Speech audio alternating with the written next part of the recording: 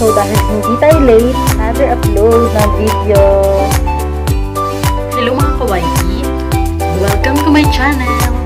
And ko lang pong i-share sa inyo kung ano po yung uh, konting talent ko na naitatabi para sa aking sarili.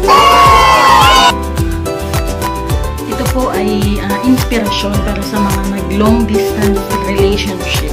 Relationship goal. Ano mga kawaii? Besh. Medyo na, na low blood na kaka-edit ng video.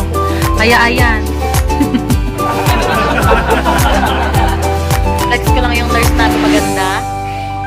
Let's enjoy and watch. It took. It took one look while browsing my Facebook.